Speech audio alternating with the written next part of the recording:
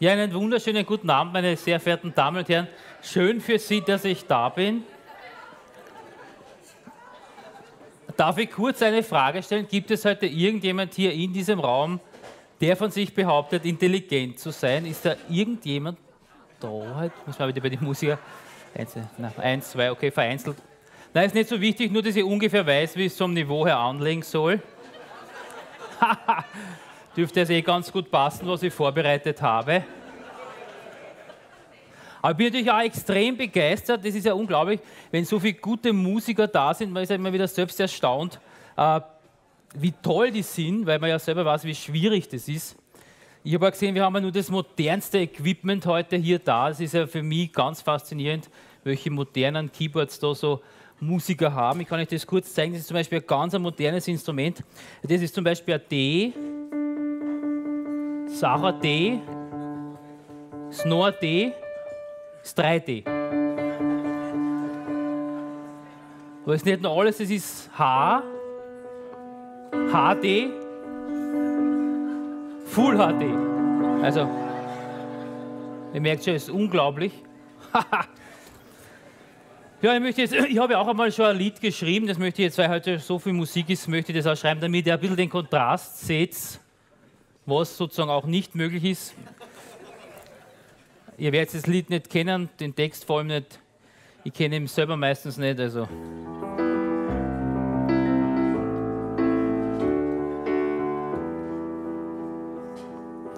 Ich fahr meistens zu Umbilla, Billa oder zum Spar, zum Spar.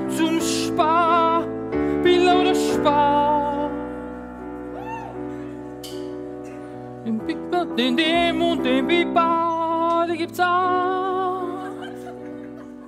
Aber fahr meistens zum Billa oder Spar.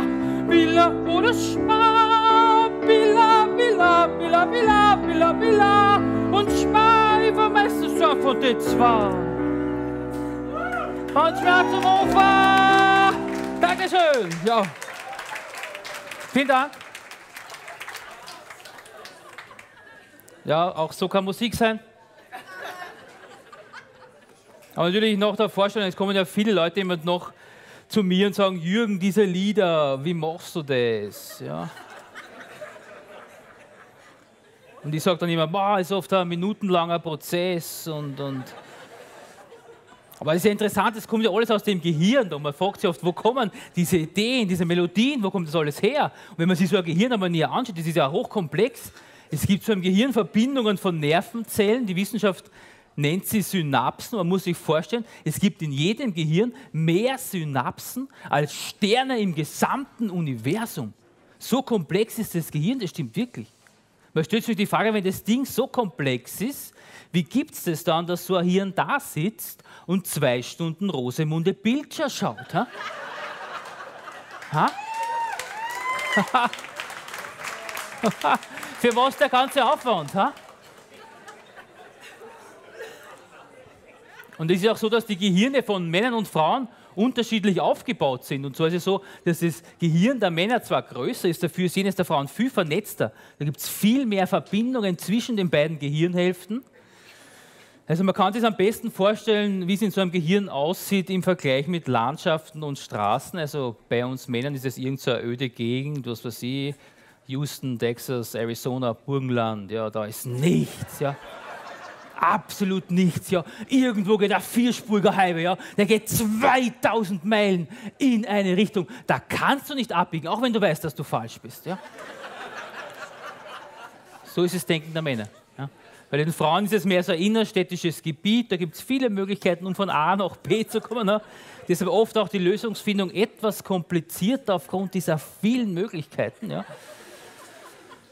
Bei den Männern ist es auch so, diese ganzen Highways, die treffen sich dann alle auf einem riesigen Highway-Knotenpunkt und dieser Highway-Knotenpunkt, der sitzt bei den Männern genau im Sexualzentrum. Ja?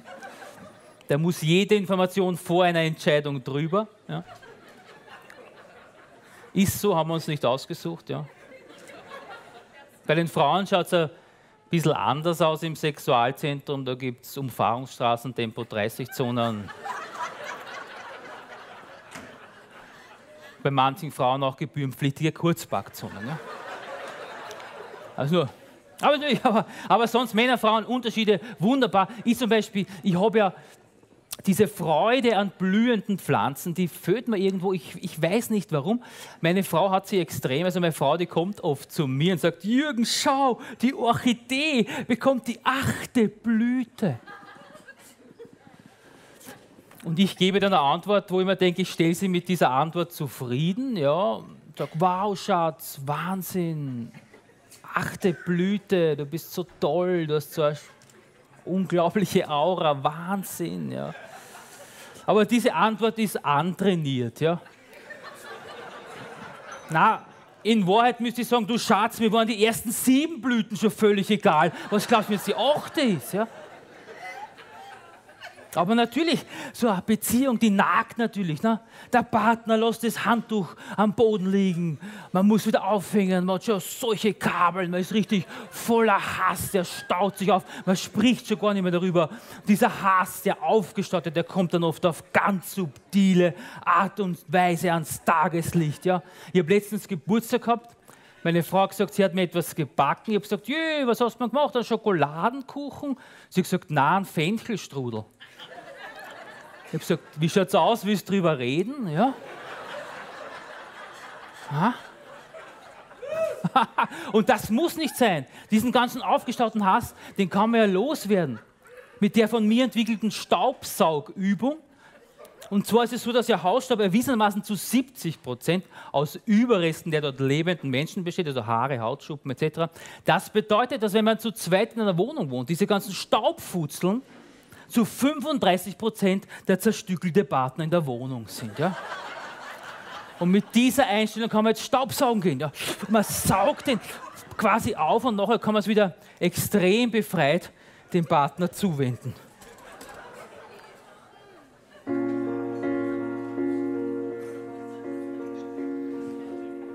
Im Schlafzimmer im Schlafzimmer. Da schlaft immer meine Frau.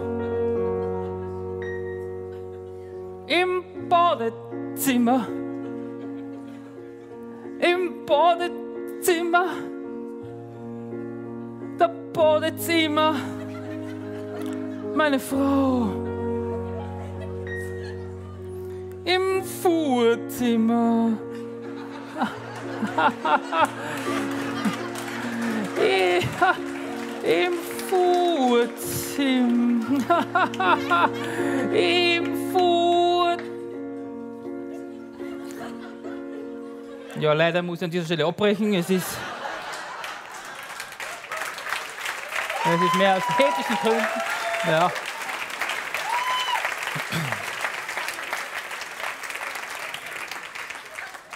Obwohl eines kann ich an dieser Stelle schon sagen, also meine Frau und ich, wir haben ziemlich ausgelassenen Sex. Also wir haben Sex gestern ausgelassen, vorgestern ausgelassen. Also eigentlich haben wir die ganze Woche ausgelassen, ja. ja, aber es ist so. Ich bin ja, bin ja oft sehr sensibel oft. Also ich, ich bin wirklich, ich fühle mich oft von der Dunkelheit geblendet und, und wenn ich auf mein iPhone so eine größere Datei raufspiele, so mit 100 MB, ja, dann spüre ich, wie das iPhone schwerer geworden ist. Ja. Und dann gehe ich oft so nichts denken, ich gehe einfach auf der Straße oder vor mit der Rolltreppe, auf einmal hinter mir so ein Rolltreppen-Nazi, rechts stehen, ja, weißt du. Ja, ich hab. Ja. Ich hab ich habe zum Beispiel auch bei mir im Auto, viele haben ja Heiligenbilder im Auto. Ja? Ich nicht, ich habe ein Bild von Albert Einstein. Das soll mich immer an die Relativitätstheorie erinnern. Weil die Relativitätstheorie, die sagt ja, denken Sie immer daran, dass Sie bei höherer Geschwindigkeit langsamer altern. Ja? Und das stimmt wirklich. Du fährst auf der Bundesstraße, hast irgend so ein ganz langsames Auto, für das hat 50 auf der Bundesstraße. Und wenn du dann dieses Auto überholst und den Fahrer anschaust, dann schauen die meistens ziemlich alt aus. Ja? Ja, aber natürlich, danke. Aber wir leben natürlich in einer Welt, das ist, muss man sagen, es ist nicht immer, wird alles verweichlichter Wahnsinn. Man traut ja den Jugendlichen nichts mehr zu. Das hat schon bei meiner Mutter angefangen. Ich kann mich erinnern, wie ich 18 Jahre alt war, hat meine Mama zu mir gesagt, du Jürgen, geh nicht zu lang fort und rauf nicht so viel mit den anderen Burschen. Und ich habe gesagt, so Mama, Alexander der Große, ja, der hat mit 17 Jahren eine Herrscher von Kriegen eine Schlacht geführt. Ja. Den seine Mama hat ja auch nicht gesagt, Alexander, bleib nicht so lang fort und rauf nicht so viel mit den anderen Burschen. Ja. Und das ist, wir werden immer, oh, natürlich, leben in einer unglaublichen Welt des Konsums. Wir sind dieser ja hoffnungslos ausgeliefert. Ja? Wenn du irgendwo so in einen Supermarkt halt reingehst, du weißt ja gar nicht mehr, was du einkaufen sollst. Letztens gehe in den Supermarkt, auf einmal baut sich vor mir eine Cerealienabteilung auf. Ja?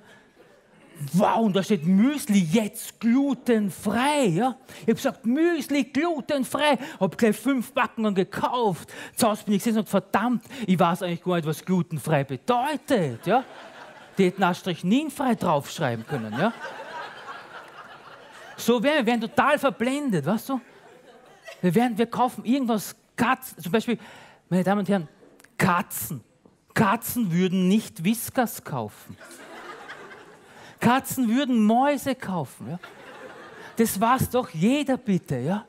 Am besten vor kurzem gestorbene Mäuse. Ja? Aber das will der moderne Konsument nicht. Nein, wie soll man das auch machen? Irgend so ein Stand vom Whiskers mit lebenden Mäusen. Ne? Daneben so ein Vorschlag haben wir ja, schlagen Sie die Maus tot für Ihre Hauskatze. Das will der moderne Konsument nicht. Nein, da kauft der moderne Konsument für die naturnahe Hauskatze, kauft er lieber Katzenfutter mit Rind. Ja klar, das kommt ja in der Natur auch total oft vor, dass Hauskatze ein Rind reißt. Gut, vielen, vielen Dank. Dankeschön. Dankeschön.